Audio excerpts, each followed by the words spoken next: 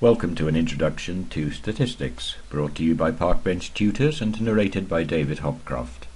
For further information about Parkbench Tutors, please visit parkbenchtutors.com. In this podcast, we are going to take a look at measuring variability, and we shall be working through one or two examples with you. When we talk about variation in statistics, we are talking about how the data that we have is spread about an average. This is often referred to as dispersion, and that is what we shall be measuring. The simplest of the measures for dispersion is the range. This just means the difference between the largest and smallest numbers in a set. Consider a set of numbers 7, 14, 25, 34, 41, 55, 69 and 88. The highest number is 88 and the lowest number is 7. So the range is 88 minus 7, which is 81. A useful way of referring to dispersion of data is by percentile. Percentiles divide the data by percentage, so that the nth percentile is the value that has n percent of the numbers below it, and 100 minus n percent above it. The 70th percentile would have 70% below the line. The dispersion can also be divided up into four quarters, known as the quartiles. The interquartile range is the range between the upper and lower quartiles, or the middle 50%. We shall recap from the last podcast for a moment. x minus x bar is the deviation from the arithmetic mean, and x bar is given by the sum of the numbers divided by how many numbers there are. The sum of all the deviations will be 0. So sigma xi minus x bar divided by n will be 0. And sigma i divided by n minus x bar will be 0. The average deviation will be the sum of sigma xi minus x bar divided by n. Let us do a worked example. We will calculate the average deviation of 8, 10, 14, 17, 23 and 36. First of all, we need the arithmetic mean, which will be 8 plus 10 plus 14 plus 17 plus 23 plus 36 divided by 6, which is 108 divided by 6, giving an answer of 18. Now we have the arithmetic mean, we can find the average deviation. For 8, the deviation is 18 minus 8, which is 10. For the next number, 10, it is 18 minus 10, which is 8, and so on. So we have 10 plus 8 plus 4 plus 1 plus 5 plus 18 divided by 6, which gives us an answer of 7.66.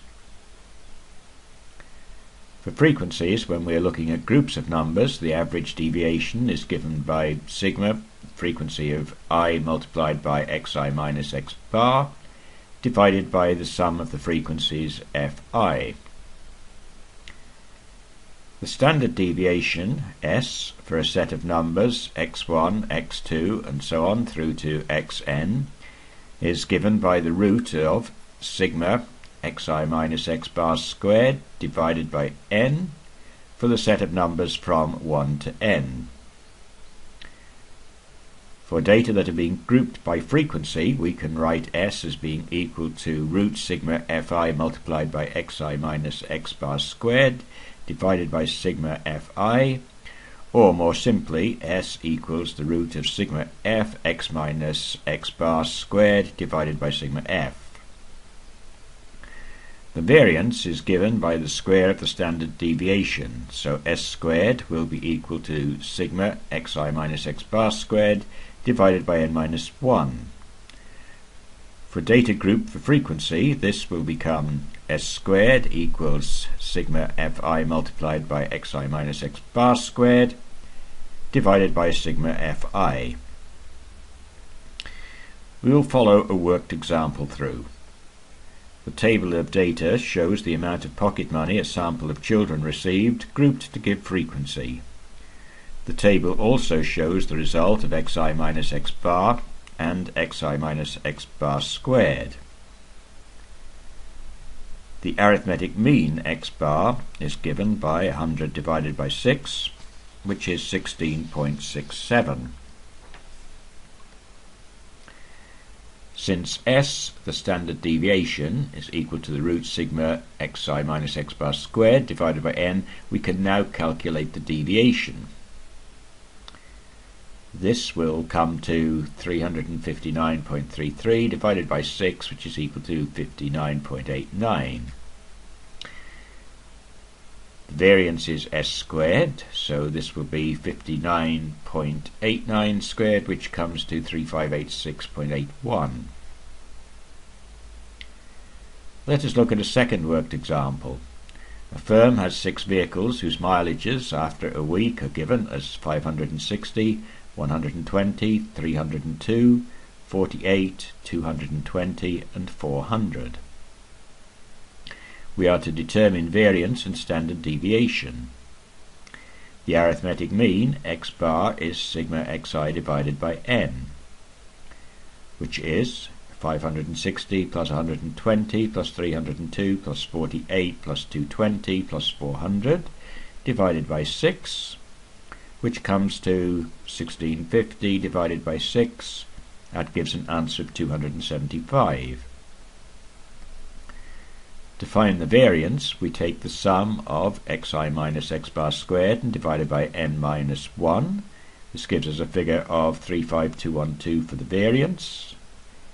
The deviation s will be the root of this number, which is 188. Since s squared, the variance, equals sigma xi minus x bar squared divided by n minus 1, then we can rewrite this as s squared is equal to n multiplied by sigma x squared minus sigma x, then squared, and divided by n, bracket n minus 1, close brackets. That means that we can also rewrite s as equal to the square root of n multiplied by sigma x squared minus sigma x, then squared, and divided by n, bracket n minus 1, close bracket. For data grouped by frequency, then s squared is equal to n multiplied by sigma f multiplied by x squared minus sigma f multiplied by x all squared, and then divided by n multiplied by n minus 1. The table here shows the weight of a sample of students grouped to the nearest kilogram. For convenience, we have also included a column for x squared.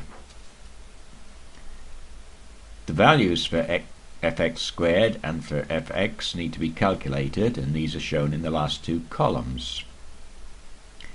The totals for f, fx squared and fx are also shown. To determine the value for s, we have to plug in the numbers from the table.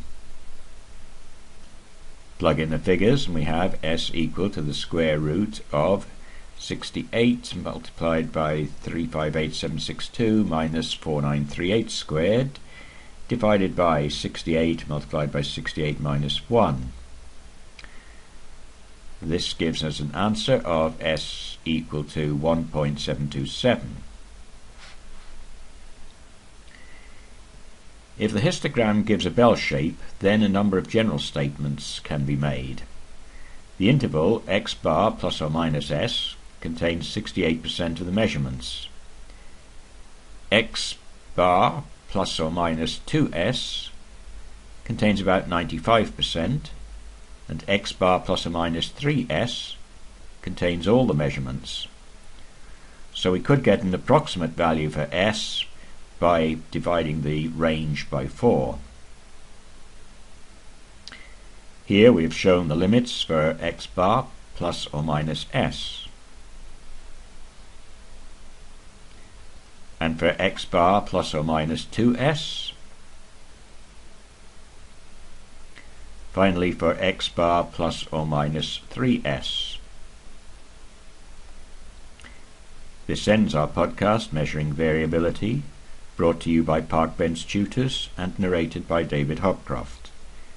Thank you for watching and for listening. We wish you success in your studies. For more information about Parkbench Tutors, please visit parkbenchtutors.com.